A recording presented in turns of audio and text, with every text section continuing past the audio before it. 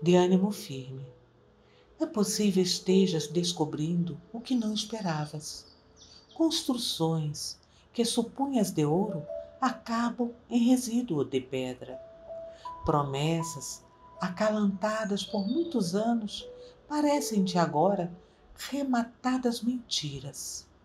Afetos julgados invulneráveis abandonaram-te o passo quando mais necessitavas de apoio. Surpreendeste a incompreensão nos companheiros mais nobres e colhestes amargos problemas nos próprios filhos que viste crescer ao calor de teu corpo.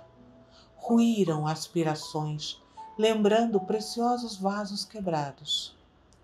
Sonhos desfizeram-se de improviso, como se ventania arrasadora te devastasse a existência.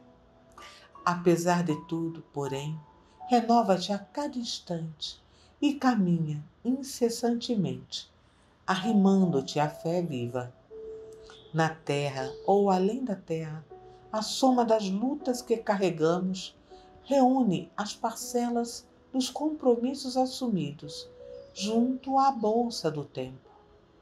Aflição de hoje, dívida de ontem, merecimento de agora, crédito de amanhã. Banha as mais íntimas energias nas torrentes do amor puro que compreende e edifica sempre.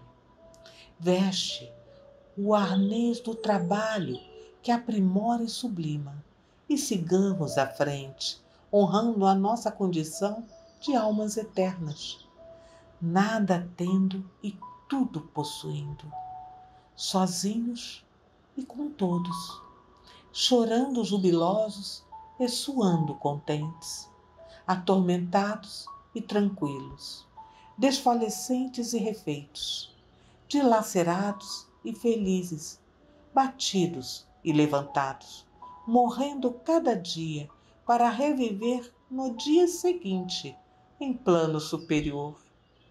E, atingindo os marcos do túmulo, de partida para a luz espiritual, se viveres amando e perdoando, purificando e servindo, encontrarás em ti mesmo a flama da alegria ressurgindo do sofrimento, como a glória solar renascendo das trevas.